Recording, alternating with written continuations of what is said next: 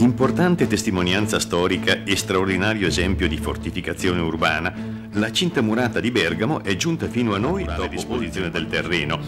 Alla cinta romana, il cui sviluppo, a seconda delle diverse ipotesi, misurava da un minimo di 1500 metri ad un massimo di 2300 alla muraglia medievale, che già prima dell'anno 1000 e fino al 400 era andata inglobando per lunghi tratti quella romana, adattandosi progressivamente alla particolare morfologia del terreno. L'intero scudo medievale sembrava dunque proteggere discretamente la città e i borghi dagli attacchi di truppe fornite di armi bianche, catapulte, alte scale, funi munite di arpioni, macchine d'assedio con passerella per sovrappassare le cortine, arieti e quant'altro poteva consentire il superamento dei vari ostacoli predisposti dai difensori. cambiavano rapidamente e con loro anche le tecniche di assalto che dal 400 si avvalsero delle armi da fuoco. Si determinò così per la Repubblica di Venezia, alla quale fin dal 1428 il territorio orobico era stato assegnato con la pace di Ferrara,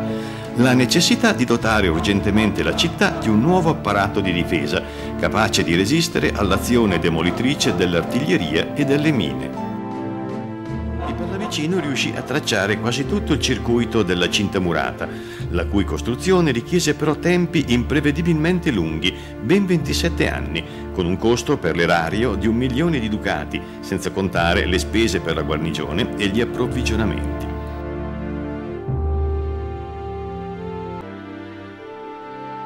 Le artiglierie piazzate nei due fianchi, di cui uno rientrante e protetto da orecchione, erano in grado di battere sia la cortina adiacente Porta San Lorenzo, sia la cortina spezzata di nord-est, la quale a sua volta era attrezzata con due cannoniere affiancate, tra loro collegate per mezzo di un vasto locale di manovra.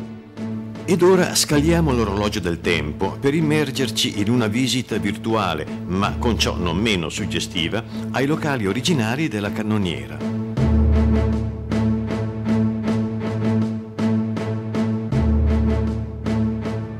Sempre considerata il piede d'argilla dell'intera fortificazione per la sua tendenza a franare causa l'instabilità del terreno su cui poggia e la sua posizione prospicente il vuoto del profondo vallone della Fara, la tenaglia di Sant'Agostino si articola nei baluardi contrapposti del vallone e di Sant'Agostino, tra loro collegati da una breve ed alta cortina difesa da due cannoniere. Assai criticata all'epoca per l'eccessiva distanza tra i due baluardi in sequenza di San Michele e San Giacomo, la lunga cortina che li congiunge risulta interrotta dalla piattaforma di Sant'Andrea, che sostituisce due piattaforme inizialmente studiate per il posizionamento di pezzi d'artiglieria, in grado di ridurre la fragilità del sistema difensivo. Insomma, vi era la ferma volontà di disporre in modo assoluto del dominio in quota per colpire più agevolmente impedire al nemico di accedere a ripari di qualsiasi genere e attestarsi nello spazio antistante la muraglia, considerata l'ultima difesa della città,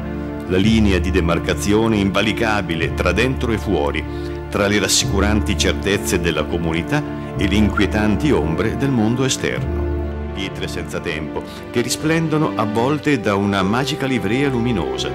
quasi a riecheggiare nella notte la propria storia secolare.